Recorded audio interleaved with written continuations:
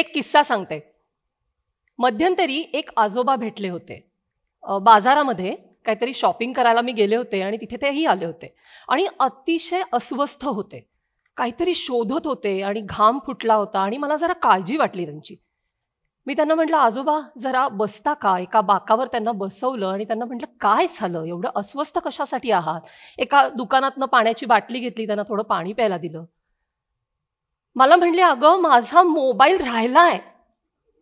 मला काय वाटलं की बाजारातल्या एखाद्या दुकानामध्ये राहिला असेल. काय होतं ज्येष्ठ नागरिक आहे एक मोबाईल हरवला म्हणजे खिशाला खड्डा. म्हणून त्यांना म्हटलं की तुम्ही काळजी करू नका आपण शोधूया कुठेतरी दुकानाच्या काउंटरवर राहिला असेल किंवा भाजीवालीकडे राहिला असेल जरा बघूया. तर मला म्हणले अगं तसं नाही ग. माझा मोबाईल घरी राहिलाय. मी काहीच बोलले नाही. हल्ली आपल्या सगळ्यांच्या आयुष्यामध्ये रियुनियन सुरू झालेली आहेत. पंचवीस वर्षांनी वीस वर्षांनी चाळीस वर्षांनी माणसं अचानक एकमेकांना भेटायला लागतात. आमच्या पण कॉलेजचं असं एक रियुनियन झालं आणि एक माझी खूप जुनी मैत्रीण जवळपास पंचवीस एक वर्षांनी मला भेटली. अर्थातच भेटण्याआधी व्हॉट्सअपवरती हाय हॅलो कशी आहेस? काय चालू आहे? घरी कोण असतं? वगैरे हे सगळे चॅट्स झाले तेव्हा तिचा डी पी बघितला. भेटल्यावर तिला म्हटलं अगं तुझा डी पी कसला मस्त आहे. जशी कॉलेजमध्ये दिसायचीस ना तशी दिसतेस. मला म्हणली हो ना अगं. मला दोनशे बावन्न लाईक्स आणि एकशे ब्याण्णव लव्स मिळाले. वाव. म्हटलं खरंच. पण फार काही बोलले नाही.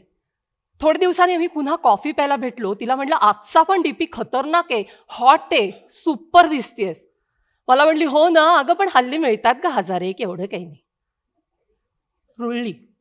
तुमच्या आमच्यासारखी सोशल मीडियाला रुळली. हे सगळं आज सांगण्याचं कारण असं आहे की आपल्या आयुष्यामध्ये सोशल मीडिया असा हात पाय पसरून निवांत आहे. आणि आपण सगळे वेगवेगळ्या कारणांनी ह्या सोशल मीडियाला हुक झालेलो आहोत. माझा हा सगळा प्रवास फार इंटरेस्टिंग आहे असं मला स्वतःला वाटतं. म्हणजे साधारण मी ऑर्कुटच्या जनरेशनची आहे. जेव्हा पहिल्यांदा ऑर्कुट आलं तेव्हा अचानक आपल्या आयुष्यात काहीतरी फॅन्टॅस्टिक आणि असं काहीतरी जगावेगळं घडतंय असं माझ्या जनरेशनला तेव्हा वाटलं होतं. कारण त्यापूर्वी एका क्लिकवर आपण कोणाशी तरी कनेक्ट होऊ शकतो. जगातल्या एखाद्या पारच दुसऱ्या टोकावर राहणाऱ्या व्यक्तीशी बोलू शकतो. या सगळ्या गोष्टी आमच्यासाठी खूप नवीन होत्या. मला तो मीडिया खूप आवडायचा. मला ऑर्कुट प्रचंड आवडायचं. मी ऑर्कुटवरती निवांत पसरलेली असायचे. मग ऑर्कुट बंद झालं आणि फेसबुक आलं. त्यावेळी सगळा लोंढा जो ऑर्कुट करून फेसबुककडे गेला त्याच्यातच मी पण होते. मी पण फेसबुक वापरायला सुरुवात केली. फेसबुक पाठोपाठ इतर सोशल मीडिया प्लॅटफॉर्म्स आले आणि मी त्यात रमले. मला ते प्लॅटफॉर्म्स अतिशय आवडायला लागले. तिथे मिळणारे लाईक्स लव्स कमेंट्स सगळ्या गोष्टी मला आवडायला लागल्या. काही काळ असाच गेल्यानंतर मग मात्र माझ्या लक्षात आलं की आपल्याला हे जग जसं वाटतंय त्यापेक्षा हे जग वेगळं आहे. त्याचे आपल्यावर होणारे परिणाम काहीसे निराळे आहेत. माझ्यातला पत्रकार जागा झाला. म्हणलं हे जरा शोधून बघायला पाहिजे जरा खणून बघायला पाहिजे. नेमकं काय घडतंय हे समजून घ्यायला पाहिजे. आणि एका कधीही न संपणाऱ्या प्रवासाला माझी सुरुवात झाली. कारण की हा विषय असा आहे की हा रोज बदलत राहतो. रोज नवीन आव्हानं रोज नवी टेक्नॉलॉजी रोज नवी माध्यमं त्याच्यातले रोज बदलणारे विषय. पण माणसं तुम्ही आणि मी आपणच आहोत.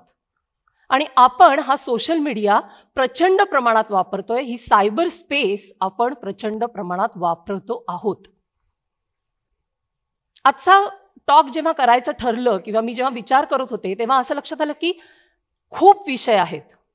माझ्या कामाच्या आवाक्यातले पण खूप विषय आहेत आणि आपल्या सगळ्यांच्या जगण्याशी निगडीत पण अनेक विषय ह्या सायबर स्पेसशी जोडलेले आहेत. मग ते विषय कसले आहेत? गेमिंगचे आहेत. पॉनोग्राफीचे आहेत ॲडिक्शनचे आहेत शॉपिंगचे आहेत सायबर क्राईम्सचे आहेत अनेक विषय आहेत.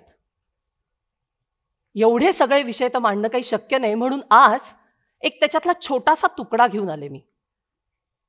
कारण जो आपल्या सगळ्यांच्या जगण्याशी अगदी थेट संबंधित आहे तो म्हणजे या सायबर स्पेसवरची ह्या इंटरनेटवरची आपली डिपेंडन्सी हे जगच इतकं आकर्षक आहे आणि इतकं मोहून टाकणारं आहे की आपण झटकन त्याला हुक होतो.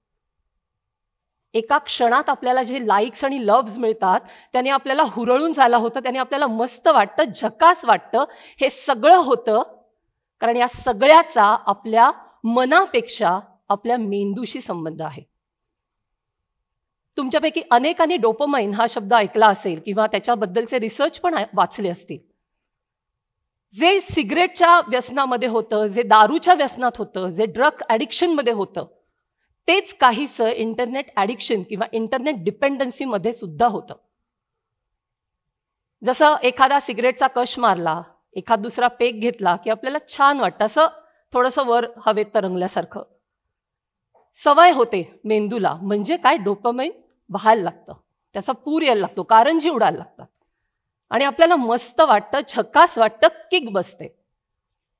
ही किक मिळावी म्हणून आपण जसं पुन्हा पुन्हा सिगरेटचा झुरका घेतो एखाद दुसरा पेक घेतो त्याच पद्धतीने ही किक पुन्हा पुन्हा मिळावी म्हणून आपण सोशल मीडियावरती आणि सायबर स्पेसमध्ये जायला लागतो. मग ते गेमिंग असेल नाही तर सोशल मीडिया असेल. लाईक्स मिळाले लव्ह मिळाले की छान वाटतं. हा अनुभव मी पण घेतलाय. तुमच्यापैकी अनेकांनी घेतला असेल. एखाद दिवशी जरा असं डाऊन वाटत असेल जरा असं सॅड वाटत असेल आणि एखादा मस्त डीपी आपण अपलोड केला आणि तिथे पाचशे लोकांनी येऊन लव्ह लाईक्स वाव किती सुंदर दिसतेस काय झक्कास फोटो आहे वगैरे वगैरे सगळं म्हटलं की आतून कुठून तरी गुदगुल्या व्हायला लागतात आणि बरं वाटतं. ही फॅक्ट आहे. कशाला नाकारा? हे सगळं घडतंय आपल्या बाबतीत. कारण ह्या सगळ्याशी आपला मेंदू जोडलेला आहे आणि म्हणूनच ह्या सगळ्या सायबर स्पेसमधल्या ह्या पॉकेट्सना डिजिटल ड्रग असं म्हटलं जातं. हे एक प्रकारचं ड्रग आहे जे आपल्यावरती काम करत आहे हे ड्रग आहे जे आपल्याला पुन्हा पुन्हा त्या प्लॅटफॉर्मवरती जाण्यासाठी भाग पाडतं. मग ते गेमिंग असेल त्याच्यातले चॅलेंजेस असतील त्याच्यातले टार्गेट्स असतील त्याच्यातले तुम्हाला हुक करणारे मुद्दे असतील पॉनोग्राफी असेल किंवा सोशल मीडिया असेल. तिथे पुन्हा पुन्हा आपण गेलं पाहिजे ही त्या प्लॅटफॉर्मची आणि त्या व्यवसायाची गरज आहे. आणि त्यातूनच हे डिजिटल ड्रग आपल्या मेंदूवर आपल्या मनावरती काम करायला लागतं. आणि खरं तर हे मी फक्त सांगते अशातला भाग नाही. आता हे जगभरातले अनेक संशोधक अनेक सायंटिस्ट अनेक शोध सांगू लागले आहेत. त्याच्यातलं एक खूप इंटरेस्टिंग संशोधन आज तुमच्याशी शेअर करायला मला आवडेल. त्या संशोधनाचं नाव आहे A B C D adolescent B म्हणजे ब्रेन कॉग्नेटिव्ह डेव्हलपमेंट स्टडी हा स्टडी काय करतो? अगदी सोप्या पद्धतीने सांगायचं झालं तर गेली दहा वर्ष दहा हजारहून अधिक मुलांवरती हे संशोधन सुरू आहे. आणि त्याचा बेसलाईन आहे की एक गट आहे ज्याचं स्क्रीन टाईम हा लिमिटेड आहे किंवा नॉर्मल आहे आणि मुलांचा एक गट आहे ज्याचा स्क्रीन टाईम हा नेहमीपेक्षा जास्त आहे. आणि मग काय मुलांमध्ये बदल होता आहेत ह्याचं संशोधन गेली दहा वर्ष त्याच ग्रुप ऑफ मुलांवरती सुरू आहे. त्याची बॉटम लाईन अशी आहे त्याच्या संशोधनातनं काही मुद्दे किंवा निष्कर्ष जे महत्त्वाचे बाहेर आलेत ते असं सांगतात की ज्या मुलांचा स्क्रीन टाईम हा वाजवीपेक्षा जास्त आहे त्यांच्यामध्ये कॉग्नेटिव्ह डेव्हलपमेंट होत नाही किंवा नीट होत नाही. यासाठी त्यांनी एम आर आयज केलेले आहेत. मुलांचे वेळोवेळी जे काही बिहेवियरल चेंजेस मुलांमध्ये होतात ते टिपलेले आहेत. त्यांच्या आईवडिलांशी चर्चा केलेली आहे. मला असं वाटतं की हा स्टडी हा एक माइलस्टोन आहे आपल्या सगळ्यांसाठी. आणि एक धोक्याची घंटा पण आहे. एक सूचना आहे. की आपण कुठल्या दिशेने जातो आहोत. कालपर्यंत आपल्याला असं वाटत होतं की ह्याचा फक्त मनावरती परिणाम होतोय. तर तसं नाहीये. ह्याचा मनाबरोबर मेंदूवर आणि एकूण आपल्या आरोग्यावरती ह्या डिजिटल ड्रगचा आज परिणाम होतोय आणि म्हणूनच ह्याचा गांभीर्याने विचार करायला पाहिजे. गांभीर्याने विचार करायचं म्हणजे काय करायचं खरं तर? कारण आपलं सगळंच आयुष्य इंटरनेटशी जोडलेलं आहे. मी आज सकाळपासून इथे आहे आणि जसा जसा मध्ये मध्ये वेळ मिळतो मी सुद्धा पटकन मोबाईल काढते व्हॉट्सअप बघते फेसबुक बघते लाईक्स करते कोणी काही रिप्लाय केला असेल तर त्याला पुन्हा रिप्लाय देते किंवा काही कमेंट असेल तर ती लाईक करते. हे आपण नॉर्मली करायला लागलोय. म्हणजे अनेकदा आपल्या लक्षात पण येत नाही की आपण फोन बाहेर काढलाय तो बघतोय आणि परत आत टाकलाय. यातली कुठलीच गोष्ट आपल्या लक्षात येत नाही. इतकं हे सगळं आपल्या अंगवळणी पडलेलं आहे. पण म्हणूनच ह्याच्यातनं बाहेर पडण्याची प्रोसेसही तितकीच अवघड आणि क्लिष्ट असणार आहे. विशेषत गेल्या दोन वर्षांच्या पॅन्डेमिक नंतर. कारण की ह्या दोन वर्षामध्ये आपण अनेक गोष्टी ऑनलाईन करायला लागलेलो आहोत. मग त्या शाळा असतील ऑफिसेस असतील शॉपिंग असेल अगदी भाजी आणणं असेल किराणा माल आणणं असेल अनेक गोष्टी आपण आज ऑनलाईन करतो आहोत ही फॅक्ट आहे. म्हणजे काय झालंय? याचा अर्थ आपलं ऑनलाईन जग आणि आपलं ऑफलाईन जग हे कुठेतरी एकत्र झालंय. ह्या दोन वेगळ्या गोष्टी ह्या ही दोन वेगळी जगं आज राहिलेली नाहीत. काही वर्षापूर्वी आम्ही अभ्यासक किंवा जगभरातले संशोधक असं म्हणायचे की लोकांचं खरं आयुष्य आणि आभासी आयुष्य ह्या दोन वेगळ्या गोष्टी आहेत. यांचा एकमेकांशी काहीही संबंध नाही किंवा अनेकदा असंही म्हटलं जायचं की आपण जे नाही ते दाखवण्यासाठी आपण सोशल मीडियावरती आपली एक प्रतिमा आपली एक डिजिटल इमेज तयार करतो. पण गेल्या काही वर्षांच्या अभ्यासातून असं हळूहळू लक्षात आलंय की ही दोन वेगळी जगं नाहीत. हे एकच जग आहे. आभासी आणि खरं हे एक ही दोन स्पेसेस एकत्र मिळून जे जग झालेलं आहे त्या जगात आपण आता जगतो आहोत. आणि ह्यापासून आपल्याला सुटका नाही. जर आपल्याला ह्या हायब्रिड लाईफस्टाईलमध्ये जगायचं असेल तर काही गोष्टी आपल्याला जाणीवपूर्वक केल्या पाहिजेत. कारण आम्ही जेव्हा केव्हा असं म्हणतो की स्क्रीन टाईम खूप वाढला आहे स्क्रीन टाईम खूप जास्त आहे खरं तर व्हॉट्सअप युनिव्हर्सिटीमुळे आपल्या सगळ्यांना हे माहिती आहे की आपल्या सगळ्यांचा स्क्रीन टाईम खूप जास्ती आहे आपल्या मुलांचा स्क्रीन टाईम खूप जास्ती आहे. पण मग ह्याच्यातनं बाहेर पडायचं कसं? प्रश्न सोडवायचा कसा? तर तो फक्त फक्त बॅलन्सनी होऊ शकतो. म्हणजे एक प्रयोग मी माझ्यावरती केला होता. कारण जेव्हा मी सोशल मीडिया वापरायला लागले आणि फेसबुक आणि इतर प्लॅटफॉर्म्स वापरायला लागले. कुतूहल म्हणून गेमिंग करायला लागले. तेव्हा माझ्या असं लक्षात आलं की माझा स्वतः माझी स्वतःची जी डिपेंडन्सी आहे ती हळूहळू वाढायला लागलेली आहे. म्हणजे मला काही स्ट्रेस आला की मी सोशल मीडियावर जाते. मला काही असं वाटलं की लो आहे मी आज तर मी एखादा डी पी अपलोड करते तिथे कमेंट्स लाईक्स आणि भरपूर असं तिथे ट्रॅक्शन झालं की मला कुठेतरी आतून बरं वाटतं. मला खूपच कटकट झाली तर मी एखादा गेम खेळते. सो माझ्या हे लक्षात यायला लागलं की माझं खरं आयुष्य माझ्या खऱ्या आयुष्यातल्या इमोशन्स आणि सोशल मीडिया किंवा सायबर स्पेस हे एकमेकांमध्ये जोडलं गेलेलं आहे. हे एकमेकांच्या शिरलेलं आहे. म्हणून मग नो स्क्रीन डे असा एक प्र प्रयोग मी स्वतःवरती करून बघितला. आणि माझ्या मुलीनी त्याच्यामध्ये मला खूप साथ दिली आणि खूप मला प्रोत्साहन पण दिलं. ती मला म्हणली आई आपण करून तर बघू काय होतं ते तर बघूया. आणि आम्ही सकाळी उठल्यापासनं रात्री झोपेपर्यंत कुठल्याही प्रकारचा स्क्रीन वापरला नाही. ना टी व्हीचा स्क्रीन लावला ना मोबाईलचा स्क्रीन टॅबचा स्क्रीन सिनेमाला सुद्धा गेलो नाही. तोही स्क्रीन नको. कुठलाही स्क्रीन वापरला नाही. आणि मी तुम्हाला सांगते आयुष्यात खूप दिवसांनी मला असं वाटलं की माझ्याकडे प्रचंड वेळ आहे. एरवी ना एरवी पत्रकार असल्यामुळे अनेकदा असं वाटतं की नाही नाही काय वेळच नसतो हो आयुष्यात. काय इतक्या गोष्टी करायच्या आहेत इतकी पुस्तकं वाचायची इतके सिनेमे बघायचे आहेत. वेळ कुठे आहे हे सगळं करायला? त्या दिवशी पहिल्यांदा ही जाणीव झाली की माझ्याकडे खूप वेळ आहे. आम्ही सकाळी उठलो आवरलं स्वयंपाक केला गप्पा मारल्या बोर्ड गेम्स खेळले. अनेक गोष्टी केल्या तरी पण दुपारचे बारा किंवा एकच वाजलेले होते. आणि माझ्याकडे अख्खा दिवस रिकामा होता. लोळत पडले झोपले तरी पण चारच वाजले होते.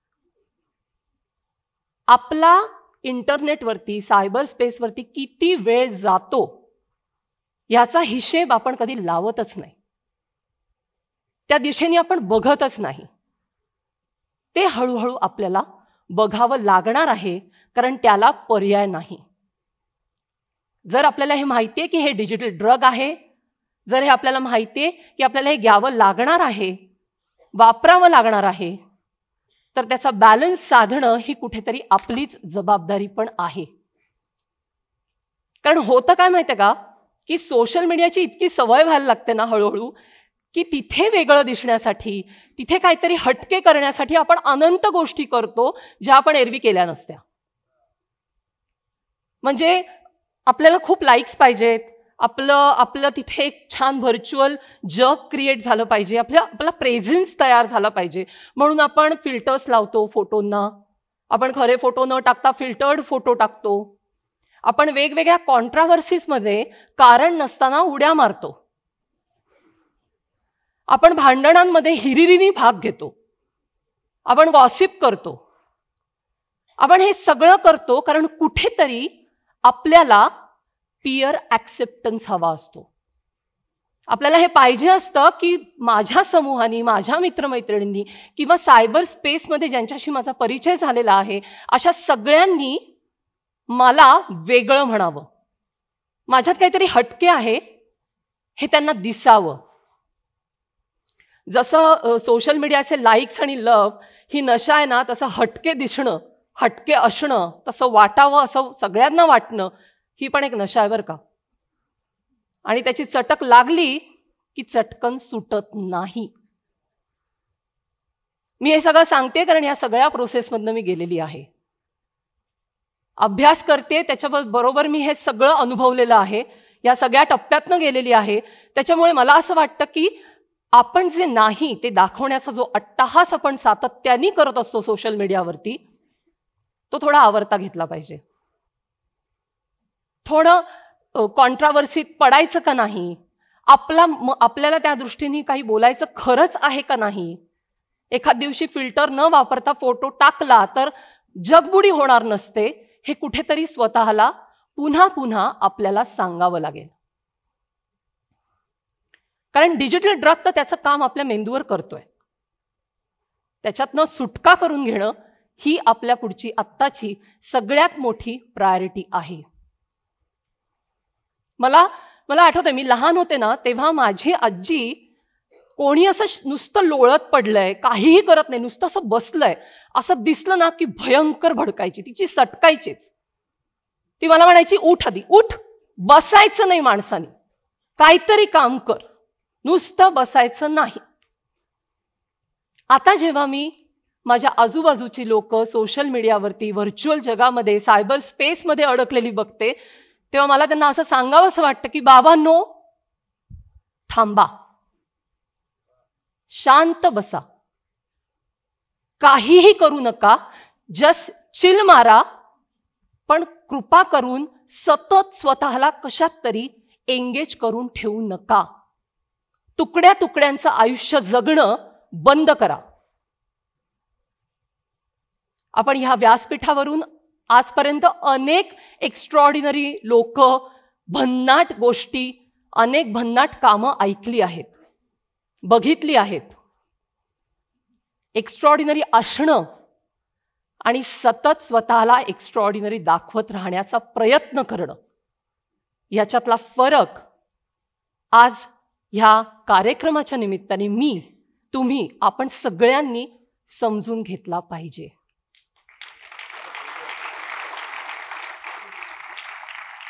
आज या व्यासपीठावरनं बोलताना मला एकच गोष्ट पुन्हा पुन्हा सांगावीशी वाटते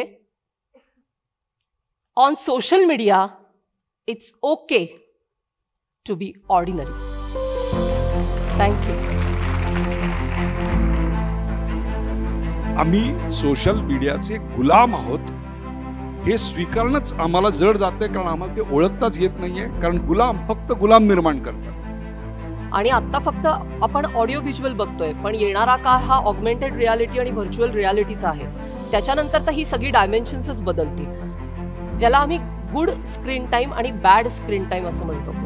म्हणजे चांगला स्क्रीन टाइम कुठला आणि वाईट स्क्रीन टाइम कुठला हे जर आपण आयडेंटिफाय करू शकलो स्वतःसाठी मुलांसाठी तर वाईट स्क्रीन टाइम जो काही असतो तो हळूहळू कमी करत करत चांगला गुड चांगला स्क्रीन टाइम हा स्वतःच्या फायद्यासाठी कसा वापरता येईल? परदेशामध्ये सोशल मीडियाचा जनमानसावरचा प्रभाव कमी होताना आम्हाला का दिसतो